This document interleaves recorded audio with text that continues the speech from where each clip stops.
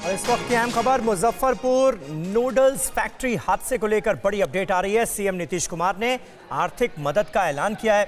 मृतकों के परिवार को चार चार लाख रुपए की आर्थिक मदद दी जाएगी। अड़ी सोमवार से शुक्रवार शाम छह बजे, सिर्फ़ टीवी नाइन भारत वर्ष पर।